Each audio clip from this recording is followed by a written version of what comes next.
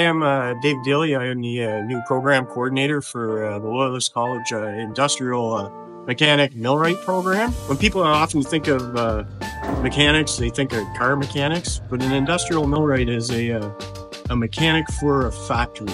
As a millwright, we do lots of different stuff. Your day to day is not always the same. You might be working on one machine one day and maintaining a different one the next day. You'll actually be trained on how to use the mill and the, uh, the lathe and the surface grinders. And we have some mechanical drive systems that you'll be uh, learning to work with. If you're the uh, the type of person that's interested on how, how things are put together, like this machine behind me here, how it was built, how it's designed, how to repair it if it uh, is broken, how to maintain it.